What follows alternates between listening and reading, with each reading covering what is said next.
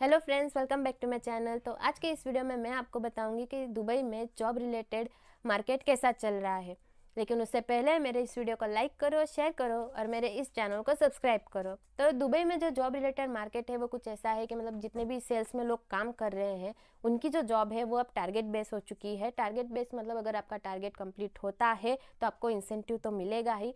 लेकिन अगर आपका टारगेट कंप्लीट नहीं होता है तो यहाँ पर आपको कंपनी फायर कर सकती है मतलब आपको निकाल सकती है। और दूसरी चीज़ ये कि जितने भी लोग दुबई में जॉब सर्च करने के लिए आने वाले हैं या फिर आने का प्लान कर रहे हैं तो वो लोग अभी फ़िलहाल ना आए, क्योंकि अभी रमज़ान स्टार्ट होने वाला है और उसके बाद बड़ी ईद आ रही है। तो अभी जो मतलब जितने भी दुबई में बड़ी बड़ी कंपनीज़ है या फिर शॉप्स है, वो, उनका जो वर्किंग आवर्स है वो कम हो जाता है और कुछ कंपनीज़ ऑफ़िस बंद होती है। तो यहाँ पर हायरिंग मतलब ना के बराबर होती है। तो इसीलिए आप जब भी अगर आप यहाँ पर दुबई में जॉब सर्च करने के लिए आने वाले हो तो आप जुलाई एंड में आए या फिर उसके बाद आए, जुलाई के बाद आए। तो अगर आपको मेरा ये वीडियो अच्छा लगा हो तो मेरे इस वीडियो को लाइक करो शेयर करो और मेरे इस चैनल को सब्सक्राइब करो। Thank you